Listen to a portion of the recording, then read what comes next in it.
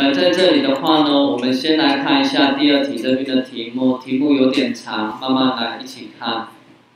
题目说，有某一个流星雨，然后呢，极大期发生在某一天，某一个月的某一天。这里先提醒你的是，某一个星座的流星雨，那个星座叫做背景。我所谓背景，指的是它在比较远的地方，离我们比较近的是流星。因为你要记得，流星指的是好多的碎屑跟谁在撞，跟我们的大气在撞，摩擦才会看到流星。所以流星事实上是在大气层的位置哦。有一个女孩，你到底讲完了没？我只觉得你的动作比我还要更大。哦，所以这里说阴仙座流星雨，指的就是呢，他在阴仙座的方向看到了他的前方有好多的流星。那极大期发生在八月份的十二日，他也告诉你最佳的观测时段是那一天的晚上到隔天的清晨。然后呢，然后就告诉你说，它的辐射点。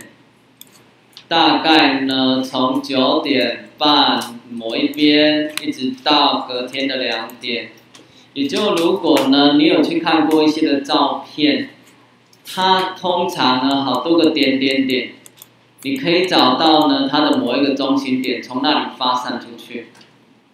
视野上我们会看到，它应该有某一个地方好多个线条。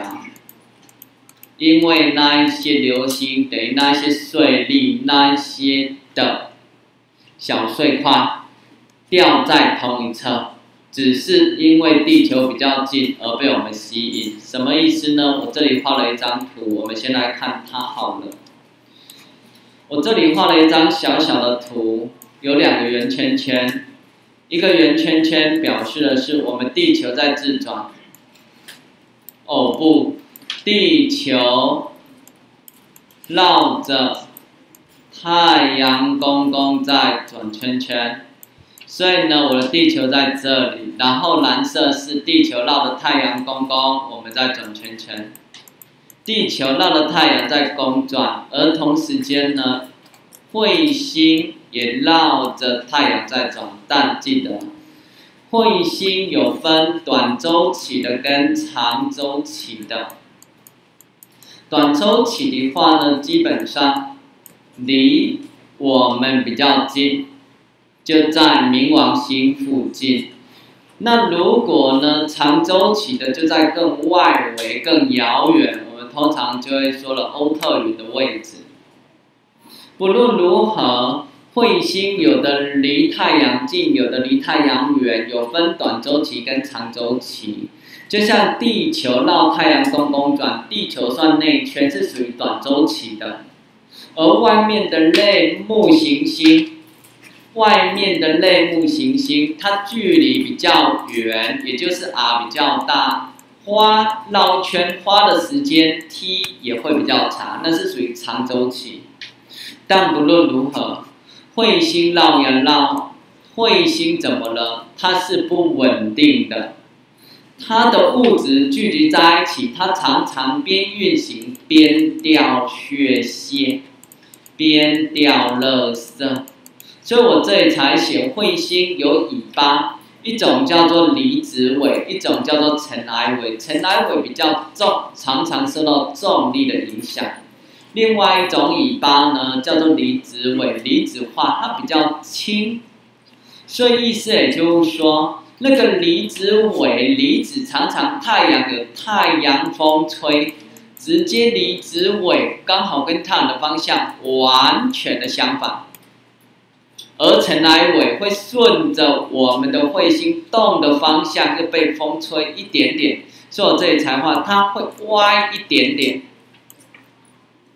总之有离子尾跟尘埃尾两种。那么呢，现在的问题是，尘埃尾是小颗粒，这一些碎块怎么了？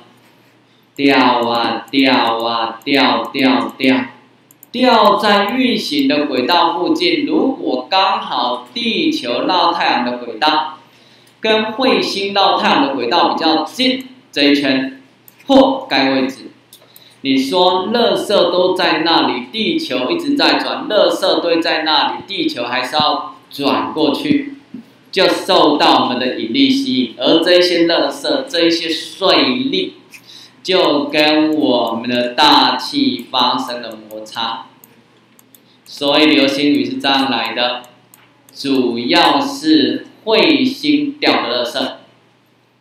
来，我们再回到题目本身，所以等于呢，那个垃圾到底在哪里？几乎就是这里所谓的辐射点咯。然后他就说了，哦，高等。来，辐射点在二零零九、二零一零、二零一的八月份也都有类似的情形，而英仙座也有类似的情形，每年都发生，都在八月的那几天，因为地球绕太阳转的轨道就是那几天运行到该位置，而垃圾就一直停留在该位置，绕一圈。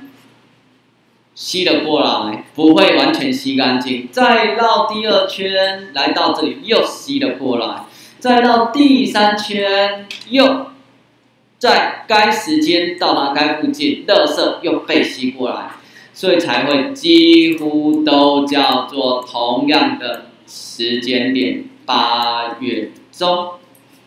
所以他问你何者解释比较合理，就是我们有周期性的运动，所以才会挑。一选项周期性的出现，就这样咯。